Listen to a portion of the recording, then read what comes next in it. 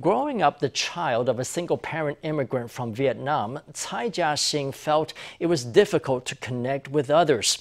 Now, Tsai is a sports prodigy who has won international competitions and received the Presidential Education Award. Tsai says he has been inspired by the help he's received from his coach, and in the future, he hopes to help other single parent kids like himself. Juggling sports in school can be an insurmountable challenge for a teen, but for Tsai Chia-hsing, sports are a source of strength. His team provides him with a sense of belonging he had long searched for. In the beginning, I had worried that as a child of a single parent, nobody would want to talk to me or pay attention to me. But finding tennis has really brought me out of my shell. Now I take the initiative in talking to others. Cai's unwavering efforts at practice have earned him remarkable achievements in his sport.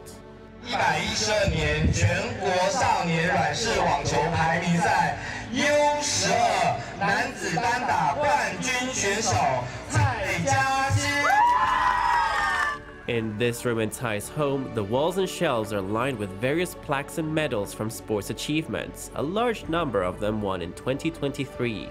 Most notable among the achievements is a Presidential Education Award.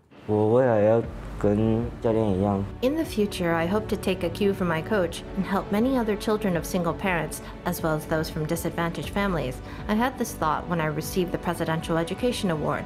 I thought to myself, this is the path you chose for yourself, so you have to carry this burden. Nobody is going to help you, only you can help yourself.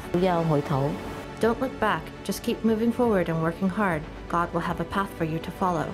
Tsai's mother knows that for her son, the road ahead may be painful, but that there's no pain like the sting of regret. So she reminds her son to never look back or dwell on sadness. By always marching forward, she says, he's certain to discover new paths.